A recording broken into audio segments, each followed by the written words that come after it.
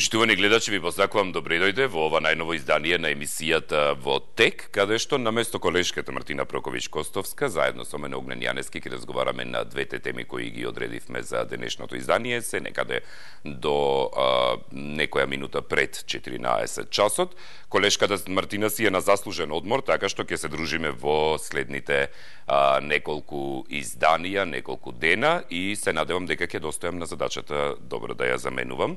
Сепак таа Vas je domaćinka tokmuna ova emisije Nova Studio. За денеска одлучивме да имаме две теми на кои што ќе разговараме. Првата тема, веќе може да ја испишеме на екранот, се однесува токму на тоа дека Министерството за труд и социјална политика побара од Министерството за внатрешни работи и од основното јавно обвинителство да го расчистат случајот во домот 25 мај по новите настани. А веќе втората тема, ќе читаме после детали, само да ги представиме темите. Втората тема е Македонија е со втора највисока стапка на смртност на новороденчиња во Европа. Европа. И токму тоа е оно за кое што мора да се разговара. Ајде ќе почнеме од втората тема во однос на деталите кои што се изнесени токму а, за неа, на кои беа објавени и од страна на Дојче Веле на македонски а, јазик, каде што се вели – Македонија со втора највисока стапка на смртност на новороденчиња во Европа. Единствено Молдавија од сите европски држави има повисока стапка на морталитет на новороденчиња од Македонија, се наведува во најновиот извештај на УНИЦЕФ. Бебињата имаат најмали шанси да преживеат пак во Пакистан. Стапката на смртност кај новороденчињата на Македонија се зголемува, алармира Уницев во новиот извештај кој е дел од кампањата за секое дете живот. Во Европа, полошо од Македонија котира единствено Молдавија. Од Уницев оценуваат дека високата смртност е одраз не само на ефикасноста на здравствениот систем, туку и на развиеноста, сиромаштијата и социјалната благосостојба, стапките на заболување и квалитетот на животната средина во земјите. УНИЦЕФ ги ранкира земјите во светот во четири групи согласно економската состојба во нив. Земји со ниски, средно ниски, средно високи и високи примања. Македонија е сместена во групата на земји со средно високи примања, со стапка на смртност кај новороденчињата од 8,3. Тоа е просечната бројка на 1000 новородени кои починале во првите 28 дена од животот. Според стапката на смртност, Македонија е во друштво со Гренада, Маврициус, Колумбија и со Фиджи. Од земите во регионот, висока стапка на смртност има во Турција 6,5, Албанија 6,2, а подолу на листата е и Босна и Херцеговина со просек од 4,7. Пакистан е на врвот на црната листа. Централноафриканската република и Афганистан и Пакистан се со просечна смртност од речиси 45 новороденчиња на секој илјада родени. Годишно во светот умираат 2,6 милиони бебиња, од нив 1 милион на денот на своето раѓење. Најголеми шанси да преживеат и најдобра нега, новороденчињата добиваат во Јапонија, Исланд, Сингапур и во Финска. Во Јапонија, земјата со најниска стапка на смртност, умира едно на секое 1111 новороденчиња. Се извинувам.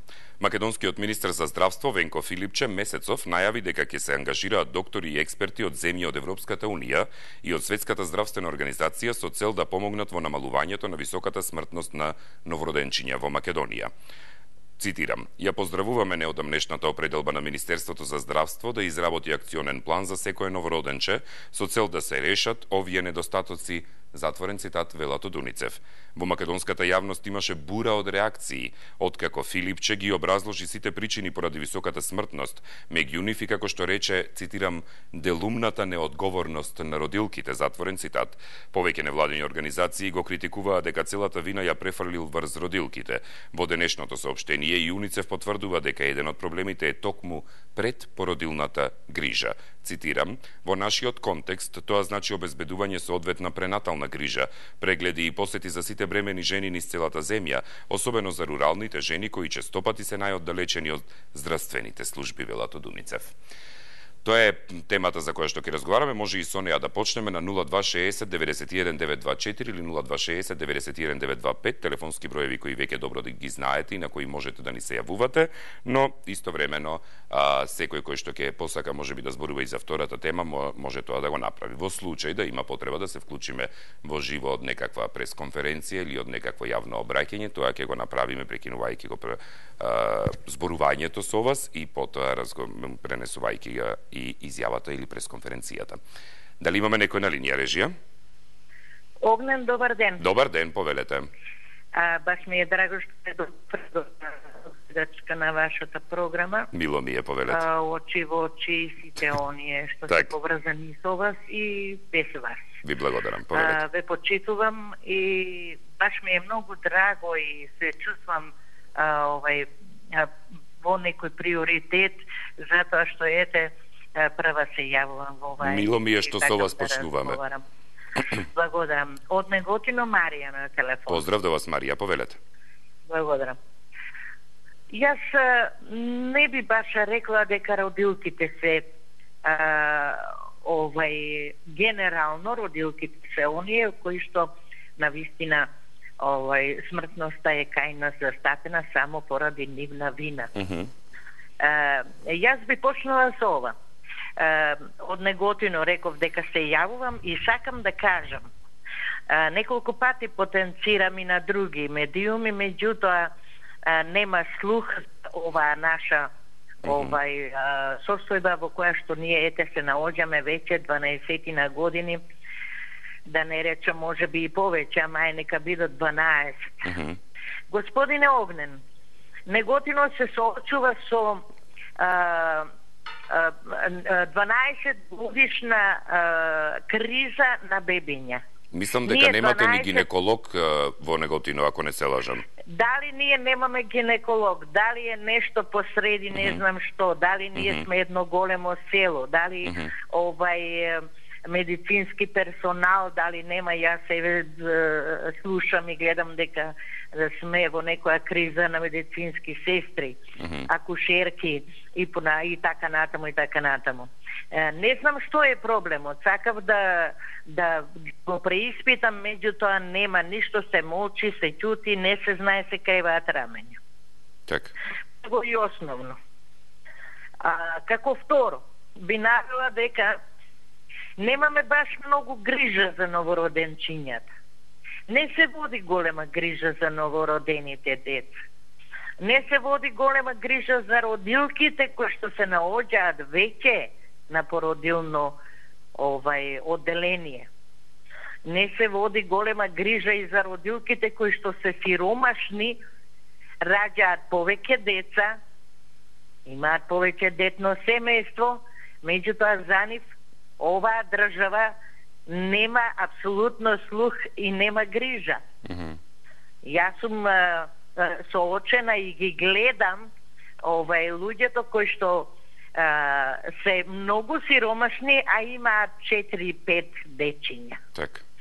А, социјалната служба уопште не е присутна кај нев, не е дошла, не видела, не прашала. А, струјата им се исклучува од неплатени сметки. Mm -hmm и ред ред други работи кои што на вистина наведуваат човек да помисли дека она а, бивша Југославија кога се раѓа по 6-7 јас имав а, во а, блиска нели контакт близок со Добро. комши кои што имаа и 10 деца. И на вистина на вистина тоа беше прекрасно нешто. 6-7 ние сме 5 во семејството Прекрасно е да имате братчиња, сестричиња повеќе околу вас. Так, добро. Цело едно големо семејство. Смртноста не е само во еден смртноста е од повеќе агли доаѓа. Добро. Благодарам што ми слушавте, господине Огне. Поздравен се на југо. Благодарам, Марија. Поздрав до вас и до Неготино. Ви посакувам убав ден таму. Дали има некој на другата линија? Повелете. Ало, добар ден. Добар ден. Лиле е на телефон, Поздрав редовна јавувачка кај Мартина. Повелете. Еве втор пат се погодувате, вие да ја заменувате, а јас да се јавам. А во однос на Министерството за здравство околу бебињата, mm -hmm. баш тогаш и разговарав со вас. Да, истата тема беше, да. Мислам, истата, слична тема. Дека реков да не се дозволи да ескалира овој проблем, mm -hmm на препукување што рекол, зошто рекол mm -hmm. министерот и така натаму. Меѓутоа денеска ќе придодадам и една друга работа. Дајте да почне Министерството за здравство да работи дајте да видиме дека овој медицински сестри се примаат на работа, дека лекарите се примаат на работа, па крајно и личниот доход нивни дека ќе почне да расте, да се зголемува. Сега ако ми дозволите, mm -hmm проговорила за темата од која сум под шок. Да. А, само што навести, не знам на која телевизија, не ме држате на за збор. Добро Обштија уште две девојчиња дека се бремени. Да, баш ке читав за таа информација подоцна. Да, 25 мај, нели? Едното ке оди да абортира, а другото, другото не. не сака да. аборт. Ова е трагично. Ова е нешто за кое не е доволно само господинот Стевче да даде оставка. Mm -hmm. ДМВР треба да се вклучи и голема поддршка ќе му дадам да се вклучи во детали да се испита mm -hmm. целиот не еден, сите случаеви што се дешавале. Mm -hmm. Многу ми е битно, а, вие сте релативно млад, меѓутоа и доволно возрастен, mm -hmm да можете да, да ме сватите. Многу ми е битно околу 13 годишното девојче кој тоа подпиша девојчето да оди на абортус. Mm -hmm. Ако е подпишано, ако не е подпишано, кој тоа лекар си зема за слобода, нели велам ако. Предпоставка да. да изврши абортус без, без подпис, оно е малолетно. Mm. Што год да се случило, кој утре ќе одговараше. Значи, ова треба подхитно да се санира. Ова е далеку и од зборот неморал, знаете, ова е едно насилство, едно нешто кое а, на вистина на вистина со сите сили обштествово треба да се вклучи во во разрешница на се ова и да се стави стоп на истата ситуација. Ве поздравувам и секое добро. Благодарам Лиле, поздрав и до вас од мене. Токму во интерес на темата за која што зборувавте следно да прочитам и дел од информациите кои што денеска се достапни за јавноста.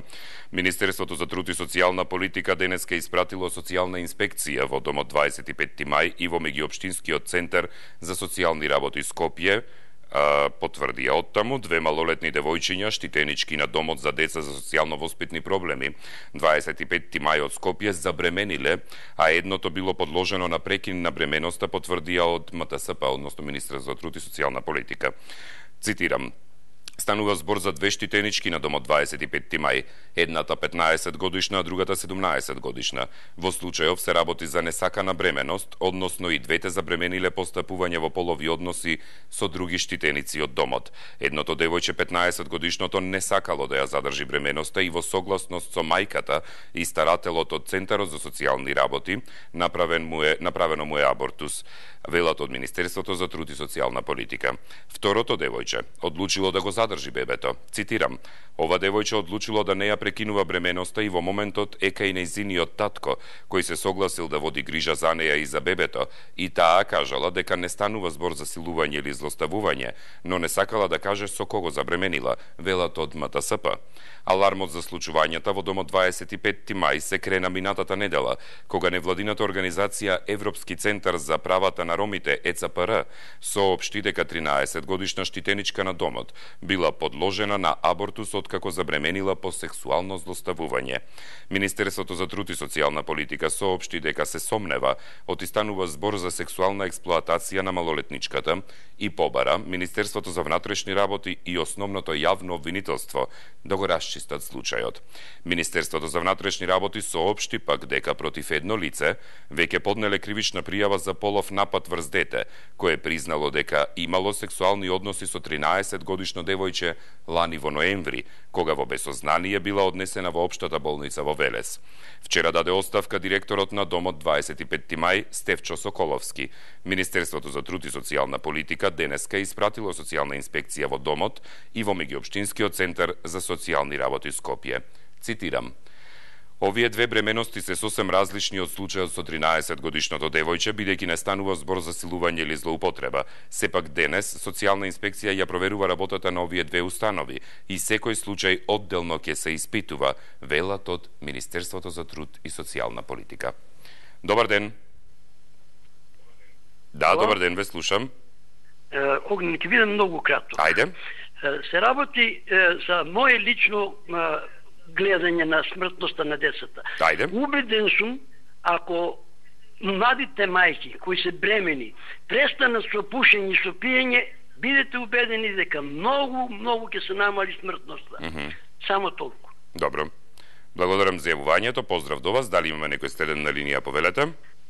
Огне, јас, ако мене ме слушате. Ајде ве слушам, повелете. Прво поздрав до тебе и многу ми те фалат женски ве. Благодарам, поздрав и до вас. Дали ме позна кој сум? Не, не, во моментот не бидејќи едното во ми е затворено со слушалка. Кажете? Професор Чепреганов. Чепреганов, повелете. Е, и, е, значи, немам намера нити да оговарам, нити да напаѓам, имам Добро. намера да кажам лично искуство од 58 годишна пракса во медицината. Баш ме интересира повелете. Да не ме сватите погрешно. Не, не. Работев во многу земји, Знам. во Англија, во Норвешка 6 месеци, во Франција многу години, во Белгија и така натаму. Повелете ми. Значи, проблемот кој за кој зборувате е крајно актуелен mm -hmm. и ова многу ме боли. Втора највисока стапка на смртност во Европа. Зошто се јавив? Се јавив затоа што а, зборувате за финалниот производ, тоа е смртност. А за да дојде до неа има многу предфактори, mm -hmm. че да му е. На прво место, да запамтат во Македонија дека здравството е резултат на стандардот и економијата на една земја. Дали сум јасен? Да. Тоа носи со себе прво добро образование, второ висока стручност на сите од лекари до сестри. Трето, високо специализирани установи во кои све што треба го има. Значи, тоа е еден мултифакториален проблем кој не се решава адхок. Сега умрело детево и сега ние дајте зашто умрело детево? Не Тоа е еден проблем кој треба на многу години на напред да се предвиди и на тоа да се работи. Зборувам како човек од искуство и од други земји. Во Норвешка, например, не може да се деси трудница да заврши така како завршува се дешават. У медицината има и смртни случаи во кои не можеме да помогнеме, се разбираме, нели? Добро, да. Меѓутоа, постапката, организацијата, стручноста, надгледувањето, сирвејанс, како викат, е сосема подруг. Зборот ми е да не должам. Mm -hmm. Значи, ова е еден про, огромен проблем во здравството, кој прво бара економија, бара пари и бара да се направат такви програми че му е и такво образование за да тек во иднина ние ќе имаме некаков успех. Ова, ова се дешава, се дешава и ќе се дешава. Не знам дали сум јасен. Јасен сте. И зошто ти се јавив. Да. Ти благодарам многу и пак е речем многу те фалат женските, многу си убав вака, ама машки не те пофалиле. Само жените фалат. Секој со своето размислување, докторе. О, не, не, не, не, осте размислувањето, вистина е ова, вистина Докторе Чепреганов, значи, ви благодарам многу за јавувањето. Да, ви посакувам убав ден, особено ви благодарам што дадовте ете придонес во денешното издание, зборувајќи од своето 58 годишно искуствено работење во земјата и во странство и затоа што честопати сме се гледале и по емисии, мило ми е што успеавте да добиете линија и да го споделите вашето мислење за темата 2 за која што разговараме. Одиме со следното јавување. Добар ден. Добар ден, Огне. Ве слушам, повелете. Еве, јас да се надоврзам на професорот, докторот Чеприганов. Така. А што рече економијата? Mm -hmm. Прво, знаете, може да сте слушнали. Ја mm -hmm. не сум видел, меѓутоа сум слушнал дека колку е веќе има јавни куќи, тајни, mm -hmm. додеш да си бираш што сакаш, mm -hmm. од колку години до толку. Mm -hmm. Што сакаш, тоа значи. Е, па тоа е резултат прво на сиромаштијата. -hmm. после науцена, лажење, па што викам газдите наши, било политичари, било директори, било што, или директорки, на користејќи своите функции, Добро. ќе те вработи, ќе ти даде 5.000, 7.000 или 12.000 плата, а ќе ја користи кога ќе му питреба да смени малку јаловник, нели, и женет, да и не е женет, и сите тие работи. Значи, тоа сега е трагедија што се случува. Јас се слагам, еве, и нека превари човек и се, ама од љубов, од сакање. Ама за таа пуста плата, значи, јавна куќа да иде, ќе треба да плати, нели, 100 евра, 50 евра, колку се плаќа сите тие чуда. А вака, жена, мислам, било жена, било нека момче младо убаво, ќе биде користено за 7 или 10 или 12 или 15 илјади денара. А ќе си го користи по потреба кога ќе сака значи да си смени партнер. Mm -hmm. Е сега, тоа што викам ја ни во Турско го немало. Меѓутоа, еве, може ли надвор од темата да кажам еден збор за Ајде. извршителите? Mm -hmm. Еве, на, а, а, на 12 овој месец извршител Андреј Буневски mm -hmm. заедно со комерцијална банка до со 19 заедно ми украдоа 50.697 денара. И тоа, нели од пензија може да земе една третина. Mm -hmm, да. Па дури и од девизна книжка бе огнен злато 400 урочена, ми подигнале 400 евра. Па јас барав кај Мартина да ми организирате на средба, mm -hmm. бидејќи сум тремаджија на телевизија, не, а не сум па толку вичен па да така. да ви пратам нели по mm -hmm. мејл. Добро. Така да да организираме со документација се, бидејќи имаме едно скоро 9 предмети. Mm -hmm. Обвинителство, кривична после 3 години ми одговара за овој Хундај што е газата на сервизот mm -hmm. Тошевски, па син ме, ме ограби, јас на обвинителство давам оригинал мој што јас сум ги користе пријатели да ми помогнат преку телефонот и нели преку лаптопот mm -hmm. да ги и, и штампам. И сега обвинителство што ги има наведено и тие сведоци и плюс овие се што е штампано да побара од куќата мобилна тамо што е, mm -hmm. да да им и се куца тоа дали е веродостојно што е напишано се. Значи, так. што сме кореспондирале. Вика, не ви е тоа доказ, вие сте си го искуцале на лаптоп. Добро. Што сакат они јас? Што Благодарам за јавувањето, поздрав до вас и посакувам убав ден. А, значи, рековме, кратко само ќе споделите, на, на страна од тоа што давате обвиненија кон други лица со име и презиме за кои што треба да се проверат прво дали се основани, за да може да ги споделите преку јавен медиум, а не да им го нарушувате јавниот углед со оглед на само еднострано кажување на нештата. А, дали имаме некој на линија повелете? Ало, добар ден. Добар ден, ве слушам. Па ја ќе разговарам во врска со ова социјална објава што се случи. Ајде, повелете. мај беше прашање на време кога ќе експлодира оваа бомба. Mm -hmm. Значи, ова се пазете, да не се лажеме да збориме со отворени карти. Овие два дома за Министерството за труд и социјална политика и за Центрите за социјални грижи, мислам дека како да не постоева. За јавноста воопшто. Ако земете како во јавност однесуване дека цело време само се спомнуваше домот 11 октомври, mm -hmm. се водеше сметка за тие деца, каде завршуваат, како завршуваат, што имаат, па има турски како им се спремава. Овие деца беа оставени на маргините. Викаат МВР и ОЈО да, да победат истрага. Не. Ајде нека искочи Центар за социјални грижи Скопје и нека каже јавно последниве години, значи не од промената на власта, пред промената на власта, Како е поведението на овие штитеници? Колку од нив се сторители на кривични дела? Колку се од нив зависници? Какви болести имаат?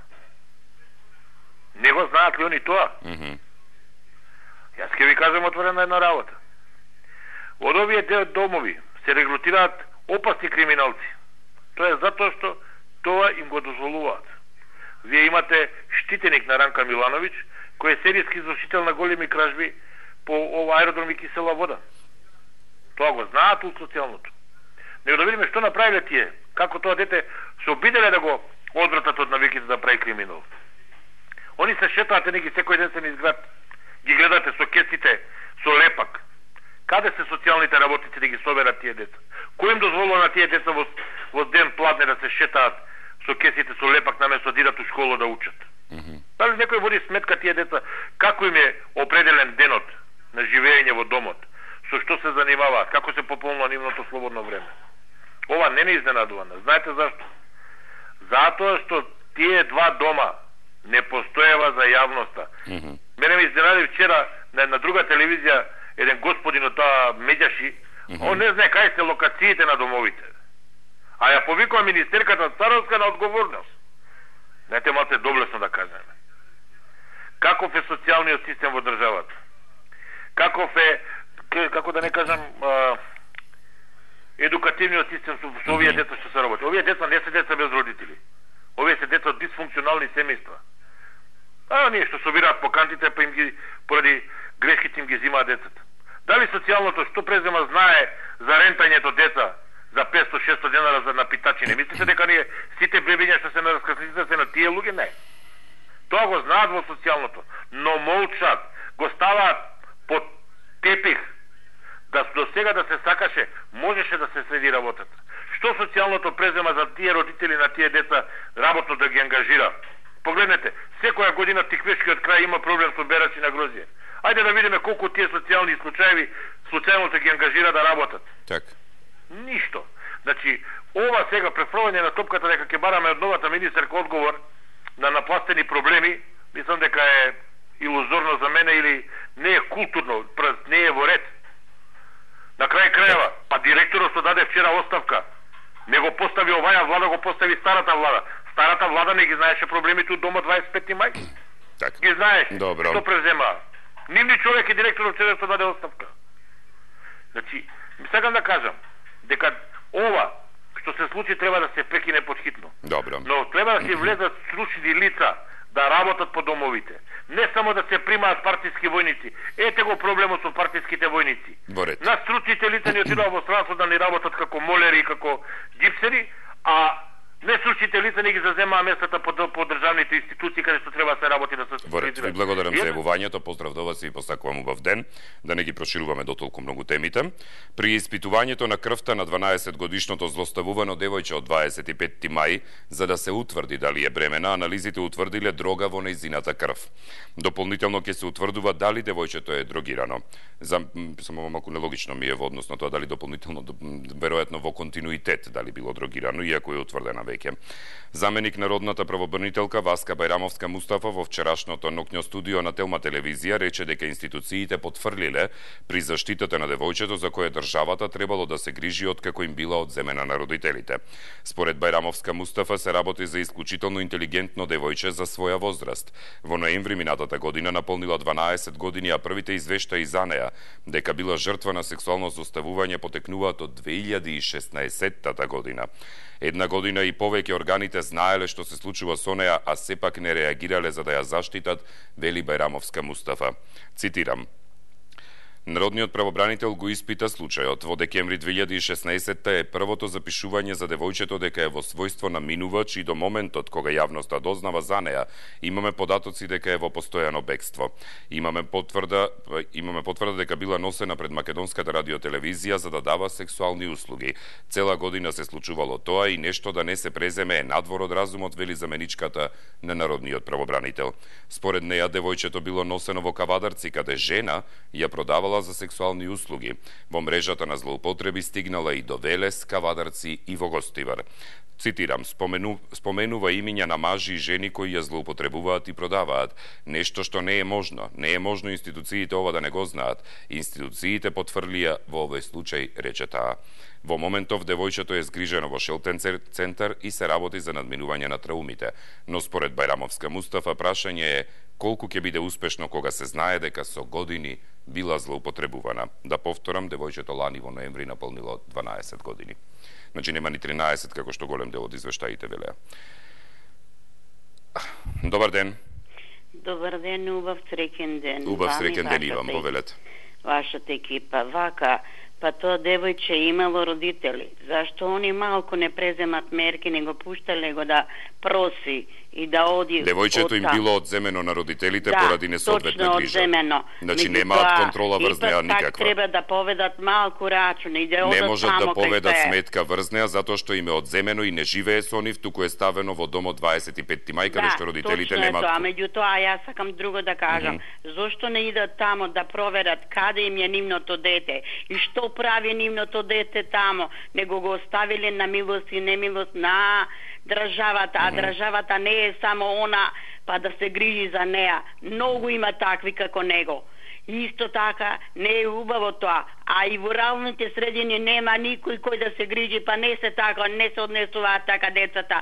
12 оној беше, не е многу малоумно и, и, има нешто во главата. И затоа и оно е криво, не е само другите криви. Зашо да се другира? Како е господјо криво 12 годишно девојче? Да, така, јас сум расела без родител, па не сум го тоа направила. Не, ама како е криво 12 годишно девојче кое што не резонира доволно? ne je dovoljno. Dovoljno je, ono ima malko, ima razum, ne je taka bez razum, nego ono si je puštao sa така, толку ви благодарам и пријатно. Благодарам за јавувањето, пријатно и до вас. Знаете што е проблемот во ова општество и генерално во многу општества, не само во македонското. Проблемот е што га, кога жртвата, која што е а, предмет на сексуално злоставување, малтретирање од страна на возрастни лица, носена поваму потаму, девојче кое што наполнило во пред 4 месеци наполнило 12 години, а е злоставувано и има индиции дека тоа се случувало од 2016-тата, што значи уште кога имала 9 или 10 години, Вие зборувате дека и таа имала вина затоа што била злоставувана. Ве молам, во кој свет живеете? Значи, како можете прво да ја напаѓате, повторно да вршите ревиктимизација на жртвата од една страна, а од друга страна да наоѓате и да центрирате и лоцирате вина во личност која што и по закон е малолетна, токму поради фактот што законот за малолетници е до 18 годишна старост, затоа што до 18 годишна старост некој треба да се грижи за оние кои немаат наполнето 18 години. Зошто? Затоа што не се доволно доразвиени за да се грижат самите за себе а, и токму поради тоа законот и ги заштитува. Во овој случај Прво е многу погрешно вршењето ревиктимизација на личноста, од една страна. Од друга страна, дополнително, на не не малолетник, значи кој што е постар малолетник. Туку разговараме дури и за помлад малолетник, бидејќи законот за за малолетници подразбира различни групации на малолетниците од 16 до 18 и под 16 години и надолу веќе да не разговараме во однос на, на границата. Значи, пов, многу е погрешно кога вината ја барате затоа што девојчето може би ете така сакало, како што ќе прочитате по интернет мрежите. Добар ден. Дали имаме некој на линија, повелете? Имаме на линија, добар ден. Добар ден, ве слушам. Е, фала Богу да се јаснавам. Ајде ве слушам, повелете. Малу за двете теми, помалу. Прво и за првата и за друга. Mm -hmm. За првата, фала Богу, што сме втори, што не сме први. Mm -hmm. Значи, и тука е на такво. Со ова јас, по моје мислење, знаеш, денеска јас да ти кажам, е, јас и за вас може да кажам и вие, ја мислам, не се родивте сигурно во болница, се родивте дома. Во болница сум роден. Напред, мене ми се родија девет деца mm -hmm. и сите ги роди жената дома и повеќе од две-три ги роди седе сама и сите здрави и прави живи. Mm -hmm. Сега со овие докториве, со овие апаративе што ги гледаат вез ден, секој минут, секој ден, ги гледаат тие со оние зрачење, ги уништија децата. Ево да дам еден пример, во Швајцарија имат најмногу сакат и деца во светот што постои. Најмногу сакат и деца има во Швајцарија, тоа таа нај, најбогата држава и со тие со тие такви и апарати везде што ги снимаат жениве што ги гледат, везде тоа не е ни добра работа тоа што го прават. А за другава тема за ова малолетново, mm -hmm. ова не е први случај, таму се ували многу пати, него ево сега се откри. Таму не му водат брига грижа таму се измешани девојчиња, машки, женски и сите тие се пуштени сами на себе и таму има многу повеќе вакви што се такви абортуси до сега правени и што не, не ги пријавил никој. Фала Богу ова сега што го пријавиле, можете за ова да се земи некој нешто во обзир да го земат, баре таму малу да му водат повеќе брига на тие децата. Тие деца што се таму сгрижени, тие се оставени сами на себе да, да се такват. А децата кои ќе ги оставиш денес со овие телевизори, вие видеа, судеа, што ги гледаме, све тоа е денес се расипан светот. Не е тој свет што бевне напред, ние ко растевне немавне такви работи, нарочито во комунизмот кој беше беше забрането такви филмови да се прикажуваат такви снимки, тоа беше строго забрането. Денеска е све допуштено и нашите млади сите се поквари. Не може денес свекори и невеста да легне да седнат во дома да гледат телевизор. Сега се запусти работава. Ние во Македонија што сме како држава да речи мало што имаме срам да може тие работи брв брв во нашава држава да се забранува тие везне тие покварени работи. Mm -hmm. Ние сме посебен народ, посебна посебна култура имаме. Не сме ние од западната цивилизација само не го интересираат со кого оди ќерка му, со кого оди саму. Mm -hmm. Таму оди све татко со ќерка, оди свекор со сна, 90 нас одат со снајте. За нив таму не е срамота. За нас е овде во Македонија такви нешта и овој Балканов ние сме посебен народ. Ние имаме срам, ние сме сиромаси, ама сме ние со срам луѓе, со култура луѓе. Тие таму ги мет изгубила таа културата. Добро. Пријатно и све најубаво. Пријатно и до вас, благодарам за јавувањето и ви посакувам uh, убав ден. Адвокатката Софија Бојковска за академик.мк обелоденува нови детали во врска со случајот на 13 годишното девојче штитеничка на Државната институција за згрижување на деца 25 мај во Скопје. Имено, малолетничката во четвртокот на 16 февруари 2018 година морала да абортира бидејќи забременила по сексуалното малтретирање на кое била изложена. Овие детали образложува адвокатката се однесуваат на настаништо му предходеле на абортусот. Цитирам: Во својство на полномошник адвокат на биолошките родители на девојчето во соработка со ЕЦПР, уште во април 2017 година преку повеќе преземени правни действија, беше иницирано да се обезбеди посебна грижа и специјална заштита на детето, кое уште во тој период беше потенцијална жртва на трговија со луѓе. Се до последното ескалирање на случајот, односно се додека медиумски не се објави дека малолетна штитеничка била поради сексуално малтретирање забременила и абортирала, ниту една релевантна институција не ја исполни исполни својата обврска и не беа преземени никакви мерки со цел заштита на детето Вели Бојковска. Продолжувам со цитатот. Во контекст на изјавите кои беа дадени од страна на Министерството за труд и социјална политика и извештајот кој го даде МВР за конкретниот случај, со оваа изјава одговорно тврдам дека институциите меѓу кои Центарот за социјална работа, Домот 25 мај, Министерството за труд и социјална политика и основното јавно обвинителство беа летаргични, се однесуваа крајно неодговорно, непрофесионално и не постапуваа во согласно со закон, иако одамна беше алармирано дека станува збор за сериозни индиции кои укажуваат на повеќе сторени кривични дела врз ова малолетно девојче, посочува адвокатката. Добар ден. Добар ден. Ве слушам, повелете. Благодарам се, се поставувам прашање како мајка, mm -hmm. а, каде институции затаиле? Како може то девојче, слушаме девет пати отсустувало од домот и да не се запрашат персоналот каде ми е девојчето? А, тоа е нешто воопшто неприфатливо. Ако еднаш ја нема, па втор пат ја нема, тука веќе треба нешто да се преземе и да се испита каде беше тоа девојче за тоа време и на време ќе се откриеше што се случува со неја. А од друга страна, не само директорот да одговара. Uh -huh. Мислам дека по, директорот најмалку е, може да знае за секое дете што работи ка, како е. Меѓутоа персоналот кој е директно во контактот со децата, персоналот треба да го знае тоа. Каква е таа крајна не, неодговорност, не грижа за тие деца. А од друга страна, јас имам и, и друга страна имам медал. Uh -huh. а, како може, јас имам познати жени од а, ромска популација, uh -huh. што ги мажат своите деца керки на 12 години. Uh -huh. Они не може да ги мажат, да ги регистрират, меѓутоа ги пуштат во фамилиите, живеат тамо како да се мажени. Uh -huh. Некои им ги брајкат после, некои остануваат во бракот, до полнолетство, така да многу е чудно. Сега слушаме дека во Кавадарци некоја жена ја продавала. Mm -hmm. Таа жена, да, сакаме да знаеме дали е ромпиња, дали е од која популација е. Mm -hmm. Затоа што ромите, на жалост, не сакам никого да навредам. Јас сите ги сакам. Mm -hmm. то, и помагам и на ромите, без оглед на сите помагам, без оглед на вера, нација, уопште не ме интересира. Во свето писмо пишува што му е потребно на човекот, не гледај на, на лицето, на ништо, mm -hmm. помагам. Меѓутоа све е тоа многу чудно, овие околности.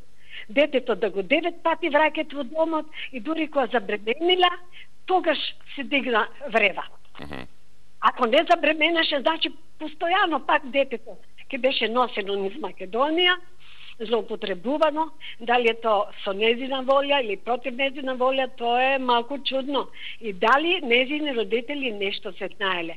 Дали тоа девојче имаше уопште врска со своите родители. Каде оде парите кои, на жалост, не дај Боже, ги примала. Да изразам, не ми е згодно, тоа е сепак дете. Нели, чуди се околности. Значи, треба да се испита детално персоналот, каква е таа негрижа. Зашто ако детето не забременило, тоа ќе се, се продолжуваше да биде, да биде жртва. И дали е жртва, и дали е, или, или е тоа може би со некоја друга рачунита сметка, mm -hmm. тоа треба да се утврде. Така. Добро. Ви благодарам многу што стварно гледаме дека сакате да се расчисте. И ве молиме, одите до крај. Благодарам многу и да, дефинитивно ќе треба да се оди до крај. А, поздрав до вас, особено знаејќи го фактот кој што го искажува и адвокатката а, Софија Бојковска а, и ова уште еднаш ќе го прочитам а, јавно, вели во својство, цитирам, на полномошник адвокат на биолошките родители на девојчето во соработка со а, ЕЦПР, уште во април 2017 година, тоа е скоро пред цела година, значи за два месеца и цела година, преку повеќе преземени правни действија беше иницирано да се обезбеди посебна грижа и специјална заштита на детето кое уште во тој период беше потенцијална жртва на трговија со луѓе. Се до последното ескалирање на случајот, односно се до дека медиумски не се објави дека малолетна штитеничка поради сексуално малтретирање забременила и абортирала тој од пред неколку дена, значи зборуваме после 10 месеци, ниту една релевантна институција не ја исполни својата обврска и не беа преземени никакви мерки со цел заштита на детето. Институциите во Република Македонија целосно имаат потврлено во однос на овој случај и на другите кои што се појавуваат, особено еве во домот 25 мај, а уште колку други случаи се извинувам, не се познати на јавноста, а страдаат. Добар ден. Добар ден. Добар ден. Ве слушам, повелете. Е, вака. Јас ќе бидам кратко, ќе кажам неколку збора. Ајде. А, и видете сега, држава наша трна некако на неубав начин. Како е, како е неубав, не се води с некаква младежно за това, кај нас се тргна за богатство. Сите што се тие за богатство не плаќаат кој што треба на работниците но државата и мокнат некако се снаоѓаат, се богатат, тоа не е убава работа. А тоа дека у Чешка, Полка, што е на натака тие држави, да не ги имamo за децата водат сметка многу, многу, многу. Кај нас тоа воопште не се води не ги рачунаат па на работа. Не бива, не знам, некако раскалашена држава. Меѓутоа, видиш, имаме директори, орнатор, непријатели. Трчаат да ни осменат името, да ни дават... Тоа нема никаква врска со темата за која што разговараме. Многу работи неправилни. Неправилни. Тоа не е згодна работа. Не е исправно. Јас сакам да биде исправна државата, добра, а ќе бидеме нај најдобри ако застават на чвор добри луѓе и да водат сметка за државата, а не да се мртат лево од десно кој како комунитисти е така. Не убава работа. Од 90 година навака сме сами, ама не да правиме држава. Ја можем имам толку пријатно биде жив и здрав. И вие да сте жив и здрав, поздрав до вас и благодарам за јавувањето. Следен на линија, поверете. Добар ден. Дали имаме некој на линија режија? Добар ден. Добар ден. Ве слушам, повелете. А вклучен сум во програма? Да, во програма сте повелете. имаме? Да, да, само намалете го тонот на телевизорот, затоа што се јавува фонија и ви доцни гласот. Значи намалете тон на телевизор целосно и изборувајте, ве слушаме. Момент, моментално. Сега се слушаме добро? Да, се слушаме. Од преска ве слушаме ние добро, повелете. Добро, фала многу. А во врска со ова девојчето што се случило, Mm -hmm. Значи тоа институциите не си воделе рачун, односно тие вработените, не директорот што си остава тапка со месеци, со месеци. Mm -hmm излегувало, излегувало, изнавигувало и тоа сигурно било мамено, чим само излегувало, не било крадено. Mm -hmm. И јас не би ги осудил тие деца, затоа што се и, и тие млад, малолетни деца исто колку не го разбират. Mm -hmm. А институциите треба да си повода рачун, стражари обезбедување. Многу пати кажуваат, било пријавувано во полиција, никој не превземал ништо кај оде, дали предходниот вработен или овој вработен. Или за предходниот вработен се работи, или за тој другиот се работи. Толку време, та сега да се осуди некое малолетно дете, исто како девојчето малолетно, е катастрофално. Ако е некој возрастен да и правил тие работи, тој да се одлежи многу добро. Така. И да си плати. Иначе те поздравувам од краја твој сум, те гледам редовно, Ви благодарам. редовно. И си јунак на македонските телевизии. Ви благодарам многу. Поздрав до вас, ви посакувам убав ден и се слушаме во некоја наредна можност.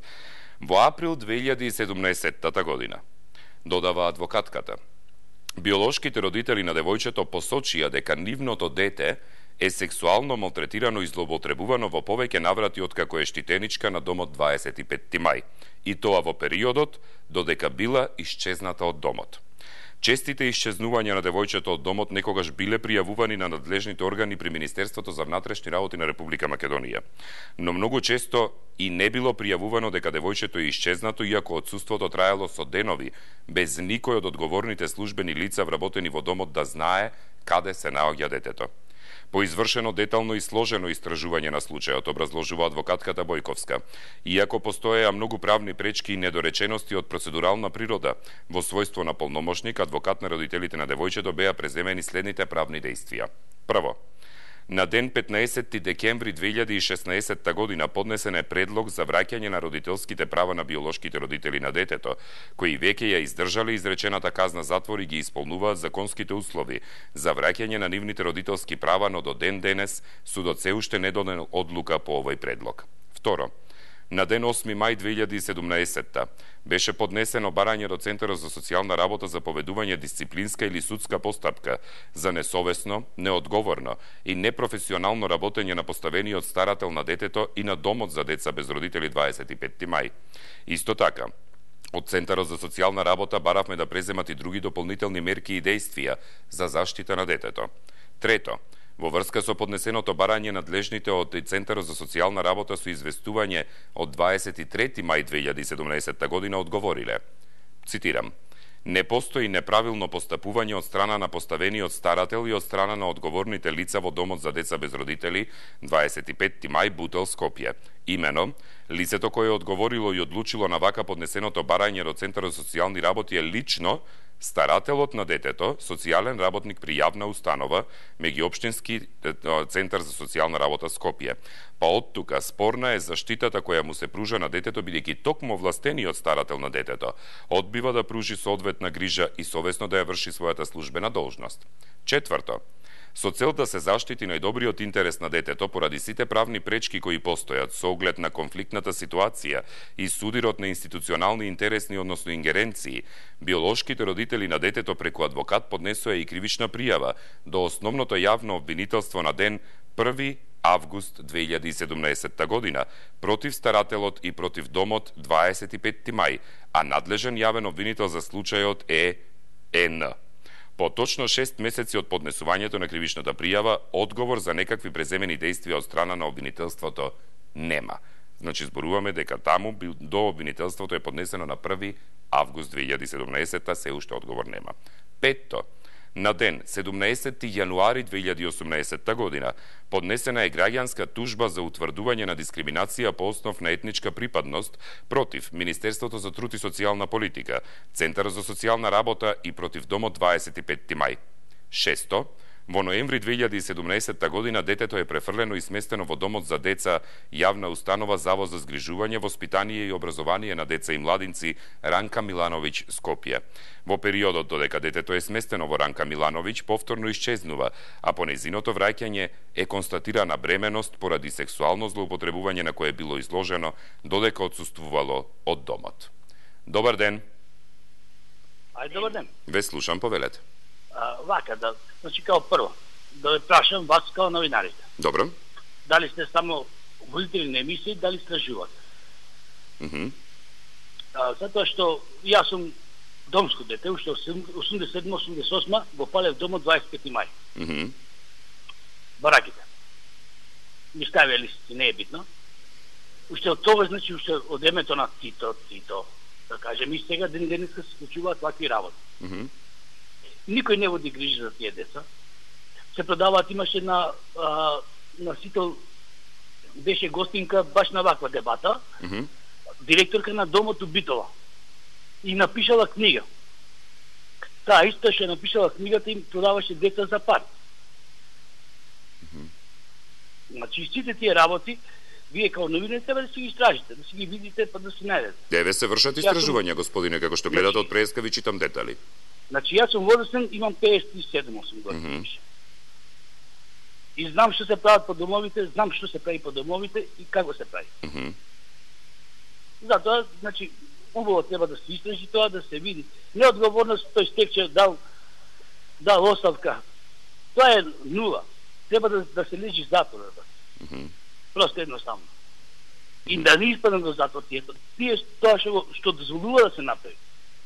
Пошто тие зимаат процент како да ви кажам што земаат. Као на питачеви што им кажува дека циганчињата што просат, нели?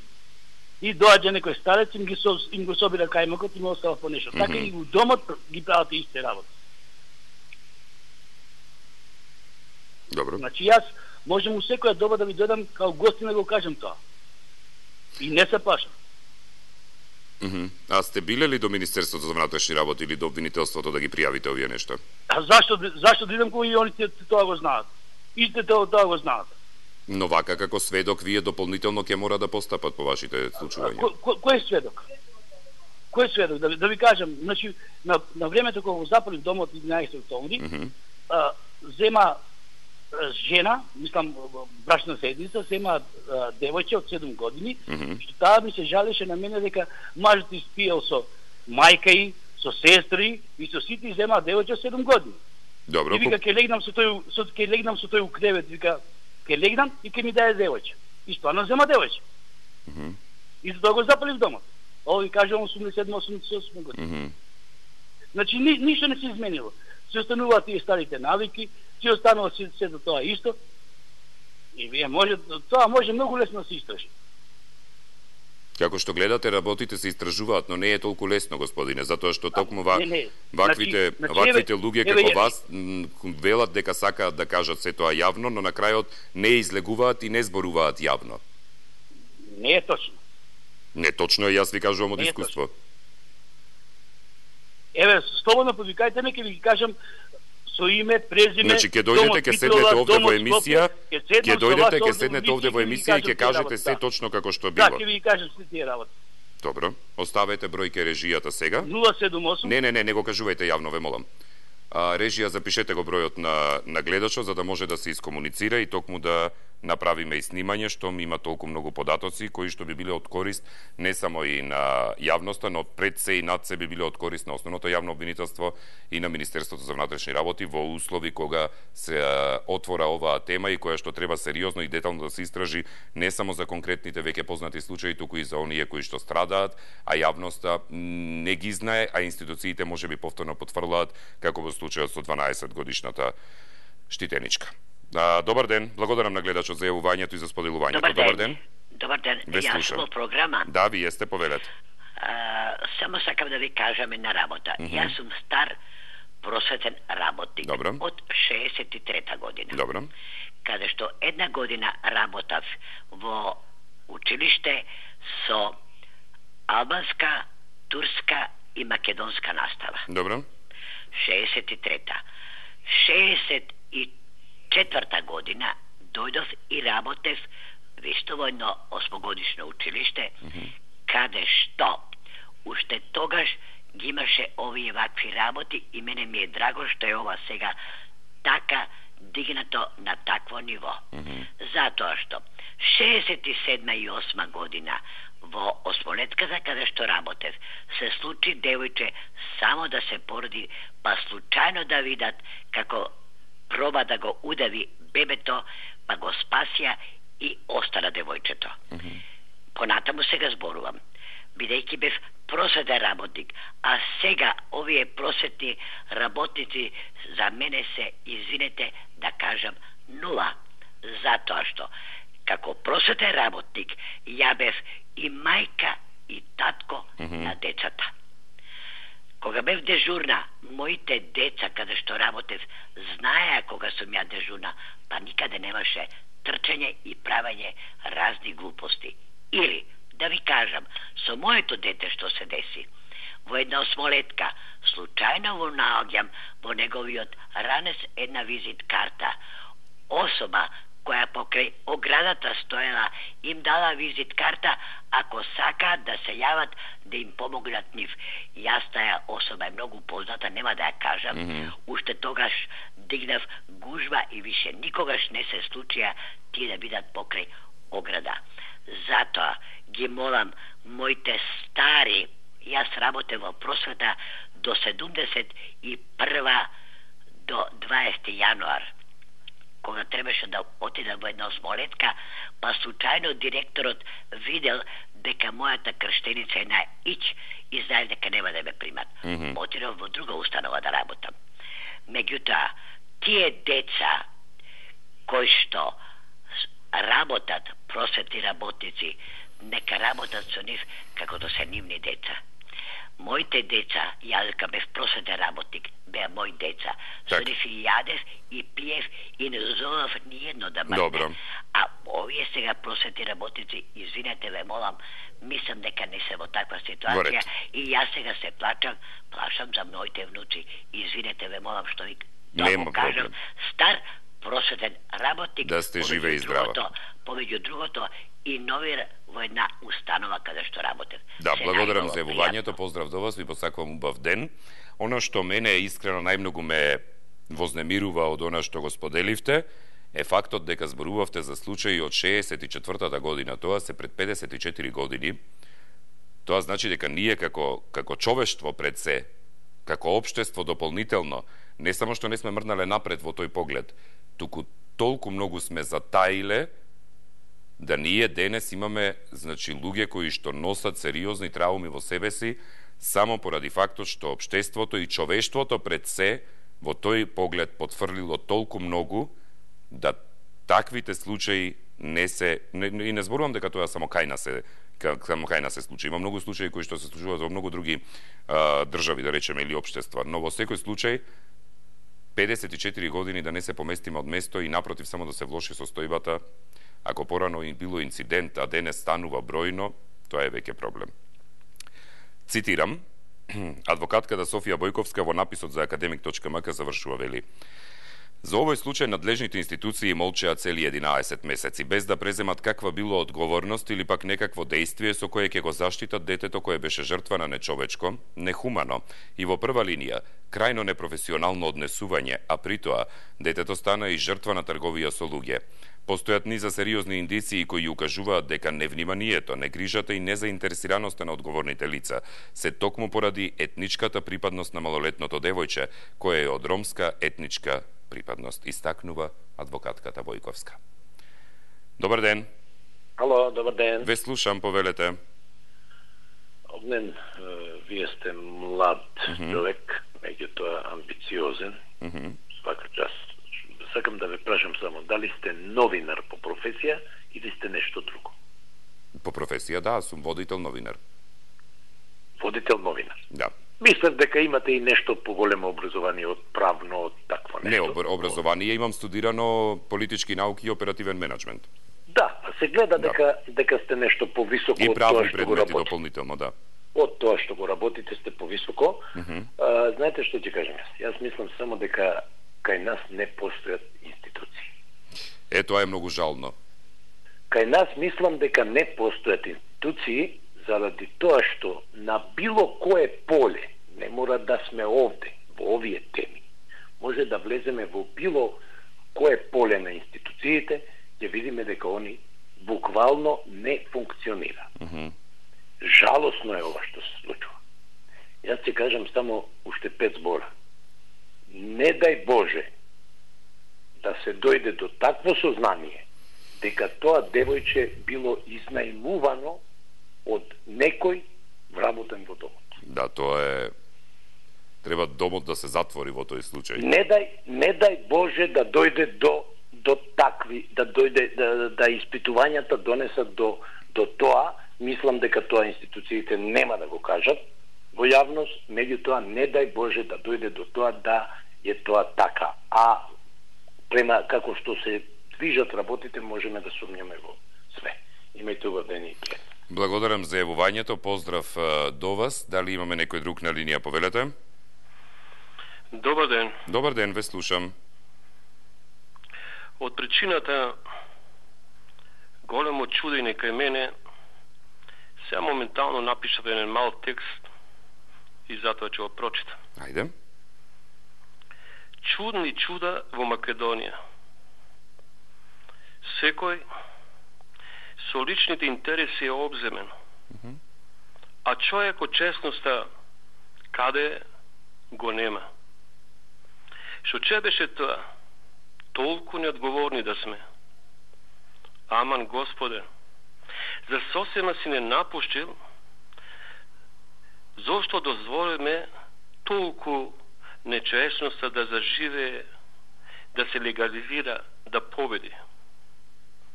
Кој како ќе не превоспита за луѓе да станеме? Кој одговорности ќе подкрене, а со тоа и соодветни казни? не гледам воопшто казни. Благодарам. Благодарам многу за јавувањето. Поздрав до вас. Драги Змијанац, председател на првата детска амбасада во светот Мегјаши, за домот 25 мај во дебатната емисија на ТВ Телманок на студио Синоќа, го нарече регрутен центар за малолетничка проституција што трае со години. Според него не достига кривична одговорност, а јавниот обвинител не треба да чека дојава за да покрене постапка. Исто така и народниот правобранител треба да ги преземе поструктурирано работите, а не само да алармира, туку и да преземе кривично гонење. Тоа што се споени, цитирам, Тоа што се споени Ранка Милановиќ и 25 мај е дефект. Од една страна, имаме деца со проблематично однесување, од друга, деца со воспитно-социјални проблеми. Јас не ги амнестирам од лична одговорност министерката, директорот на Центарот за социјални работи, директорот на домот. Состојбата во 25 мај се случува во континуитет, односно подведување на децата од вработените, проституција и се додека нема одговорност, ова ќе се повторува, посочи Змијанац синоќа. Добар ден. Добар ден, гледачка од Скопје. Поздрав до вас, повелете. А, и јас ве поздравам сите во редакцијата. А, сакам да кажам дека ова многу, многу, не само мене, верувам дека сите ги потресе. А сигурна сум дека ова не е ни една десетина од она што се случува во социјалните ова установи. Тоа е дефект од секогаш и било, меѓутоа сега, значи, има драстични, драстични разлики од порано. Иако нагласивте дека од 64-та година нешто се случувало... Така спомна гледачката предходно што се јави, да? Да, може би. Веројатно имало и тогаш известни mm -hmm. случаи. Меѓутоа, во споредба со ова што сега се случува, тоа е грозно нешто.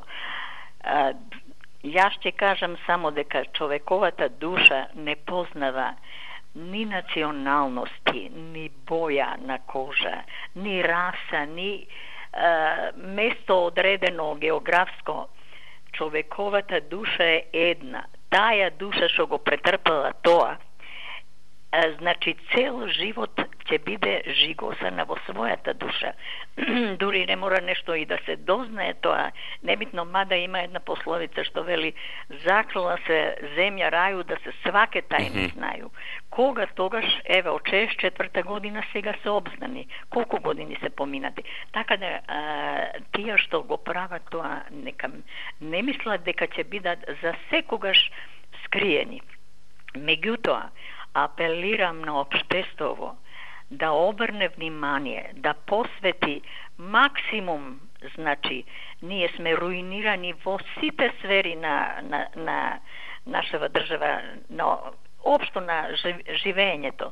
Меѓутоа, овие се е, работи кои што го жигосуваат човековиот живот, човековата душа за сва времена што се вика. Затоа нека поведат сметка повеќе за она што ни се дешава внатре, отколку што се дешава надвор.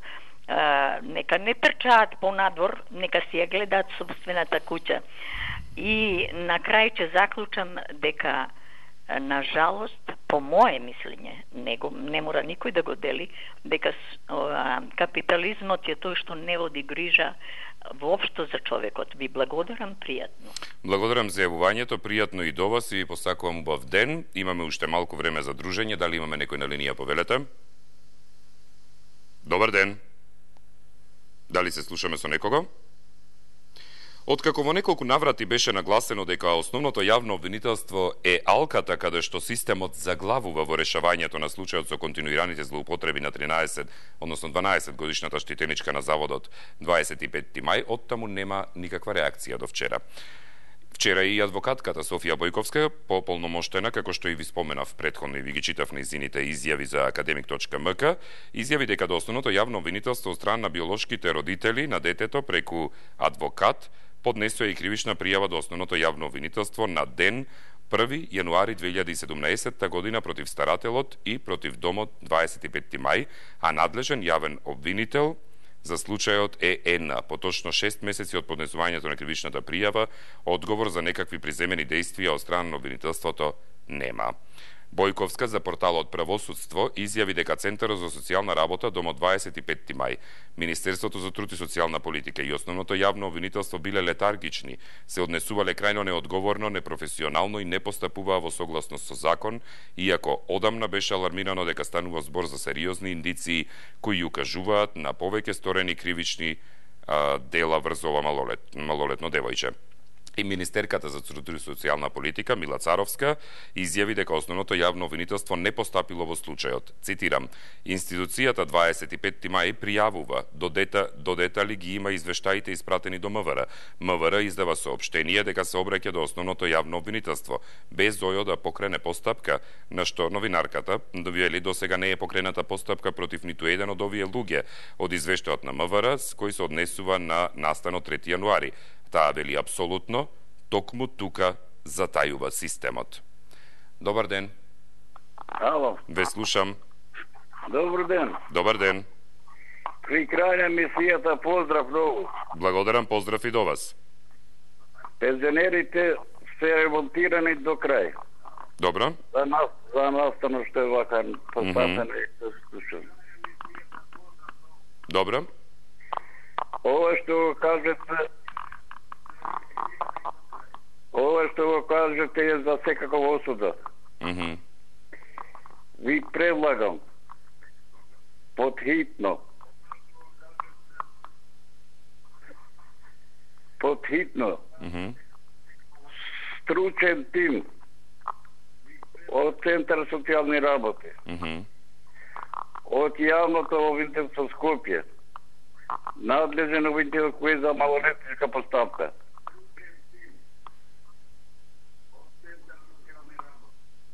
Добро. Зборувајте, ве слушаме. Како и од надлежен МВР од Скопје. Mm -hmm. Да го испита случајот и другите случаи и да кажат пред јавноста што се дешава. Добро. А потоа да се отвори една дебата во ваше присуство Mm -hmm. на телевизија. Добро. Тоа ќе биде многу, многу на помош за граѓаните. Во ред. Хвала ви многу. Ви благодарам за јавувањето. Поздрав до вас. Следен на линија. Добар ден. Добар ден. Добар ден, Огњан. Ве слушам, повелете. Вака да кажам. За малодинската за силувањето. Mm -hmm. Тоа е Огњан, да ти кажам, и мене ми е нудено проституција од домот, јас сум динче од бута од социјалните станови. Да, ве знам, да. Да ти кажам, таму требаше тоа порано. Тоа знаеш што е таму? Распашена банда. Распашена банда, Огњан. Тоа требаше порано а не е видовен директор да се дава оставка по кејф на таа министерката што кажува. Mm -hmm. Значи, ако ти кажам дете да ти донесам, вчера што ме видува, ја кај што взимам храна од таму, од, од бута, од народната Добро. кујна, знаеш што ми викаат? Чечко Димче, сите тие девојчиња вика што ги ги нудат, вика ги нудат наши штет, штетиници и наши вика таму вработени што се во, во домот и социјални работници. Значи, во Бутел, у социјалното, треба да се прави од корен чистка, сите од архивар до раководител. Таму се прават невидени прљави работи. Како начало заменичката директорка што е во Меѓуопштинскиот центар за социјални работи, Тања и поранешниот директор Дрче Радичевски, каде со факти имам да докажам дека се зимаат пари за деца за за посинување. Така. Тоа Се исклучи гледашот? Да. Добро. Благодарам многу за јавувањата и особено ми е мило што во оваа емисија те споделивме многу нешта кои што се надевам дека ќе доведат до некакво барем расветлување на конкретните случаи, а притоа и намалување и се разбира до степен на исчезнување на ваквите немили настани во овие државни домови и благодарност до сите оние кои што споделија искуства кои веројатно ќе ја покренат многу повеќе јавната свест. Останете со телевизија 24, во продолжение ќе следуваат вестите во 14 часот, а вие и јас повторно се гледаме очи во очи во 16 и 20 на минути. До тогаш поздрав.